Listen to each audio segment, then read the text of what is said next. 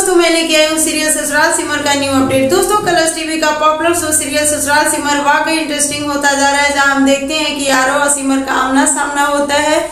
आरो सिमर से पूछता है कि, सिमर, मैं तुम्हें यहाँ लेने आया हूँ, क्या तुम मेरे साथ चलोगी? तो सिमर पूछती है कि, मैं तुम्हारे साथ किस रिश्ते से चलूँ और तुम किस रिश्ते से मुझे लेने आए हो? इस पे आरो उसे मंगलसूत्र दिखाता है और बोलता है, क्या तुम मुझसे दोबारा शादी करोगी? ये सुन के सिमर इमोशनल हो जाती है, उसके गले लग जाती है।